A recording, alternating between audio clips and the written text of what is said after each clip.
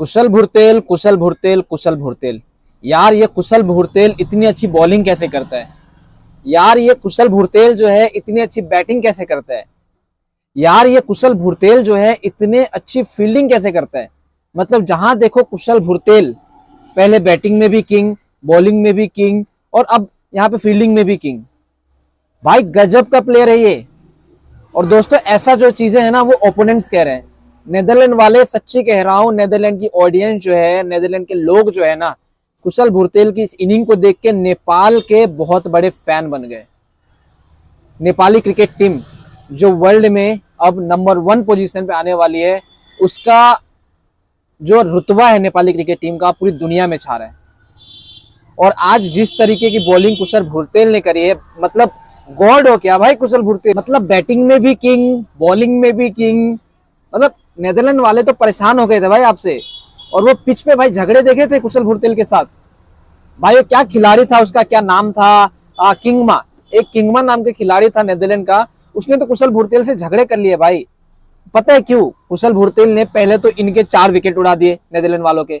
और फिर बाद में बैटिंग में वो छक्का छक्का चौका। और भाई वो किंगमा के ओवर में भी छक्का चौका जो लगाया ना उसको लेके लोग पागल हो गए थे।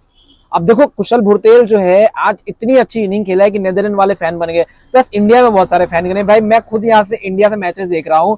मेरे तो भाई, जो लोग, दोस्त लोग हैं, वो तो पागल हो गए भाई कुशल भुरतेल की बैटिंग देख के। क्योंकि देखो, बॉलिंग में कुशल भुरतेल ने चार विकेट निकाला। लेकिन उसके बाद जब बैटिंग में आया ना तो भाई कुशल भुरतेल को मतलब ऐसा था कि भाई मैचेस छह सात ओवर में ही जीत रहे हैं। मेरे को यहाँ पे नहीं चाहिए भाई बीस पचास ओवर खेलना। मेरे को सात ओवर में मैच जितवा दो। बस, बहुत है मेरे लिए।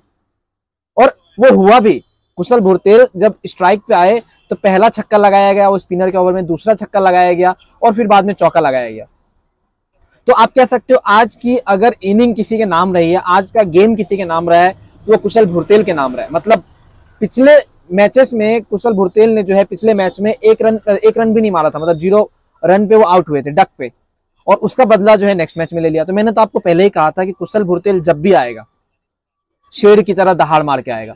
क्योंकि शेर अगर कभी भी पीछे हटता है ना तो दो कदम अपने शिकार को झपटने के लिए हटता है।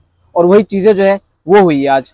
कुशल भुलतेल ने बॉलिंग में यहाँ पे अपना एफर्ट दिखाया फील्डिंग में एफर्ट दिखाया बैटिंग में एफर्ट दिखाया। आप कह सकते हो कि तीनों चीज़ में कुशल भुरतेल ही आज छाए हुए थे। और इसीलिए मुझे कुशल भुरतेल जो है, वो काफ़ी मतलब मस्त खिलाड़ी लगते हैं। मतलब पावर हिटर है कुशल भुरतेल पावर हिटर भयंकर खेलते कुशल भुरतेल यार।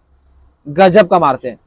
और बॉलिंग में आज उसके बॉलिंग के सामने तो नेदरलैंड वाले जो थे, वो तो मूतने लगे थे। किसी को समझ ही नहीं आया कि भाई बॉलिंग कैसे मतलब करनी है। अब देखो, सबको लगेगा कि Kushal Bhurtel part time bowler है, लेकिन भाई उसके अंदर एक खूबी है। वो पार्ट टाइम बॉलर नहीं है, वो बॉलर है भाई रियल बॉलर है। और ऐसी बॉलिंग करता है ना कि भाई यहाँ पे नेदरलैंड वालों को समझ में भी नहीं आता है कि भाई करना क्या हो। और वही आज हुआ है, चार विकेट ले लिया लास्ट वाला विकेट भी जो है कुशल भुरतेल ने लिया था। तो दोस्तों, आप आज यहाँ पे कह सकते हो कि नेपाल क्रिकेट टीम की जीत में जो है कुशल भुरतेल का बहुत बड़ा हाथ है, जिसमें उसने चार विकेटें निकाली है और 28 रन की पारी खेली है 10 बॉलों में, जिसमें उनका जो 10 बॉलों में जो छक्के मारे हैं ना, तीन तो उसने छक्के ही मारे और दो चौके मारे। तो ये कुशल भुरतेल की जो है खासियत है। हालाँकि कुशल भुरतेल से झगड़ा करने वाले किंगवा को ना कुशल भुरतेल ने औकात बता दी कि भाई, तुम हो गए नेदरलैंड के खिलाड़ी, लेकिन तुम नेपाल में और नेपाल में जो रहता है ना भाई, वो गोरखाली के नीचे रहते हो गोरखा के नीचे रहते हैं। तो आँख नीचे करके बात करियो नहीं तो नेक्स्ट मैचेस में ना और फोड़ दिए जाओगे। कुशल भुरतेल ने आज बहुत ज़्यादा इंप्रेस किया दोस्तों। मैं खुद यहाँ से इंडिया से मैचेस देख रहा था मुझे बहुत ज़्यादा अच्छा लगा। और कुशल भुरतेल की इनिंग देख के मैं अभी भी यहाँ पे आ, कभी कभी सोचता हूँ कि वो आईपीएल में क्यों नहीं? यार मतलब मुझे वो आईपीएल में देखना था उसको उसको खेलते हुए देखना था क्योंकि बंदे में वो जो क्लास है ना कुशल भुरतेल में वो दुनिया के किसी भी प्लेयर में नहीं है। मतलब क्या गजब का खेलता है यार। जो पावर हिटर है वो बहुत गजब का पावर हिटर है। दोस्तों, इसके बारे में आप लोग क्या सोच रहे हैं? आप लोग नीचे कमेंट में बताएँ। मैं जनरली जानना चाहूँगा आप लोग इसके बारे में क्या सोचते हो। एज ए नेपाली फ़ैन आप क्या सोचते हो? जो मैंने जो वर्ड्स कहे, उसके बारे में क्या सोचते हो? कमेंट में बताएँ। वीडियो को शेयर कर दे और चैनल को सब्सक्राइब कर ले अगर आप मेरे चैनल पर नए हो तो।